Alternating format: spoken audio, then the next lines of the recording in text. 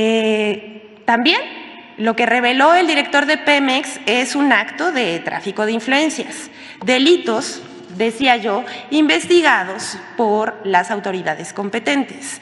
Más tarde, la asociación dirigida por Casar y fundada por Claudio X González Jr.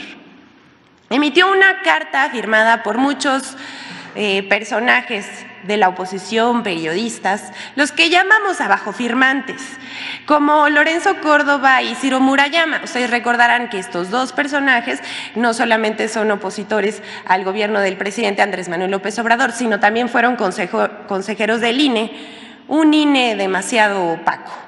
Raúl Trejo José Goldenberg, Enrique Krause, Leonardo Curcio, Héctor Aguilar Camín y Ciro Gómez Leiva.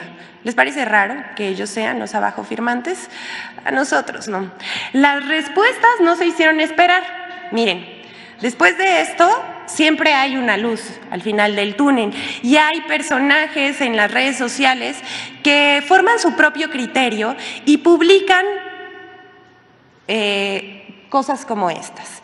Gracias a Jorge Barrientos que escribió Ojalá que con la misma vehemencia que defienden la pensión de 120 mil pesos de Amparo Casar, defendieran la de los ancianos que cobran 6 mil pesos.